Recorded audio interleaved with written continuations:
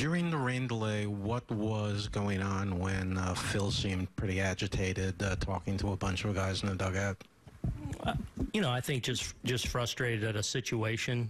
Um, you know, at that point in the game, not playing, you know, to our standard, and over the course of a season, you're going to have uh, outbursts from guys, from coaches, from me, whatever. Um, you know, so just the emotion of of, of the season of the game. Um, you know, not much more than that.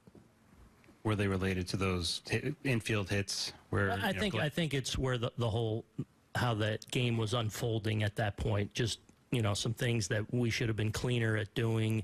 Um, you know where where the game was getting away from us a little bit. So I think a little frustration came out. was uh, that primarily based on? I know Gleyber was late a couple of times. I know that the shift is you know Mm-hmm. a little different. Did, did you have a problem with anything that Gleyber did defensively Well, today? yeah, in the, in the bunt situation, um, Gleyber's got to be covering first there, and, we were expecting a bunt in that situation.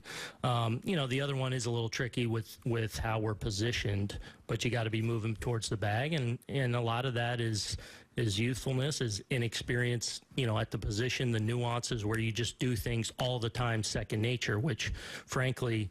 Um, he for the most part is really good at that and i talk about how instinctive he is all the time so um, those are a couple plays that you know he needed to be on top of a little bit more but um, but i also don't want him to lose um, the ease with which he plays